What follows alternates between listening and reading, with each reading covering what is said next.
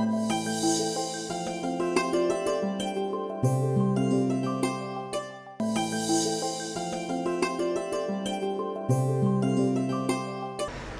సంజీవిని ప్రేక్షకులకు నమస్కారం. ఇంతకుముందు ఎపిసోడ్లో అభయముద్ర కోసం తెలుసుకున్నాం. ఈ ఎపిసోడ్లో వరద ముద్ర కోసం తెలుసుకుందాం. వర అంటే వరాలు ఇవ్వడం దా అంటే శ్రేష్టమైనవి అని మంచి వరాలు ఇచ్చేదాన్ని వరద ముద్ర అంటారు. దానికి ఏ విధంగా ఉంటుంది? ఒకసారి చూడండి. అభయ ముద్రకి కుడి చేతిని ఏ విధంగా పెట్టాము? వరద ముద్రకి ఎడం చేతిని కిందికి ఈ విధంగా ఉంది సేమ్ దాన్నే కిందకి తిప్పి ఉంచుతాం. ఇది రెండు ఇది విధంగా ఏ విధంగా ఉన్నాయో లేకపోతే ఈ విధంగా కూడా పెట్టవచ్చు కుడి చేతిని కిందకి పెట్టించవచ్చు ఇది వరద ముద్ర. అంటే అవతల వాళ్ళకి వరాలు ఇచ్చే ముద్ర వరద ముద్ర. పూర్వకాలంలో దేవుళ్ళు మన బొమ్మల్లో వాటిని చూడండి బౌద్ధిజంలో చూడండి వీటన్నిటిలో ఈ విధంగా కనిపిస్తుంది. ఇది నాలుగో శతాబ్దం నుంచి వాడుకలో ఉన్నట్టు తెలిసింది ఈ ముద్రని. ఇది వరద ముద్ర.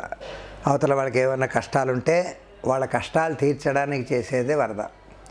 ఇది లలిత సహస్రనామంలో కూడా వస్తుంది వరద అని అని. అంటే ఈ విధంగా పెట్టడం అన్నమాట వరద ముద్ర. ఈ ముద్ర వలన వాళ్ళ సమస్యల్ని ధన రూపాల్లోనో వస్తు రూపంలోనో ఆహార రూపంలోనో వాళ్ళకి ఇవ్వడాన్ని వరద ముద్ర అంటారు మనం అంటే పూర్వకాలంలో తపస్సు చేసేవారు మునులు ఋషులు కానీ ఎవరైనా కానీ భగవంతుడు ప్రత్యక్షమై వరాలు ఇచ్చారంట చూస్తారు అంటే ఇదే వరదం వర వరమే.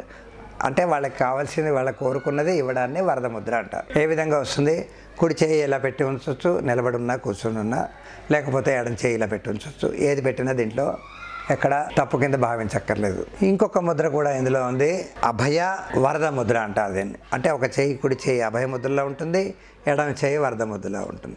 అంటే అవతల వాళ్ళు మీరు భయపడకండి నేను మీకు ఇస్తాను. మీకు ఏం కావాలి?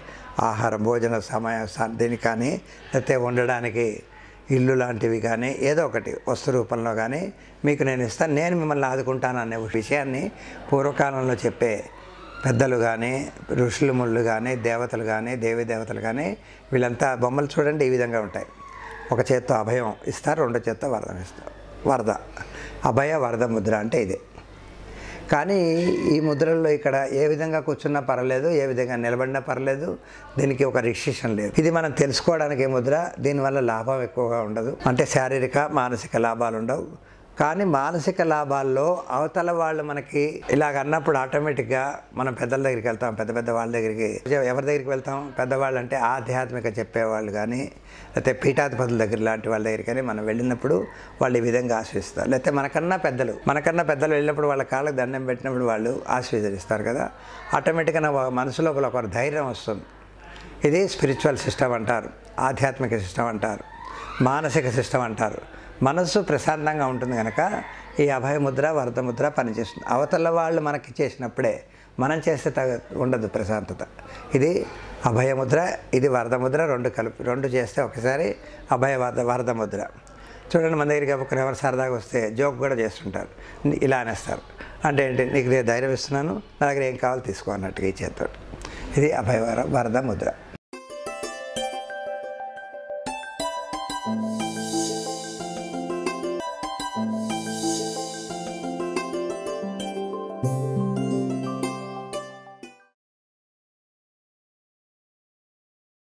ఈ వీడియో మీకు నచ్చినట్లయితే లైక్ మరియు షేర్ చేయండి. మీ అమూల్యమైన అభిప్రాయాన్ని కామెంట్ రూపంలో తెలియచేయండి. ఇలాంటి మరిన్ని వీడియోస్ కోసం మా ఛానల్ను సబ్స్క్రైబ్ చేసి పక్కనే ఉన్న గంట సింబల్ను నొక్కండి.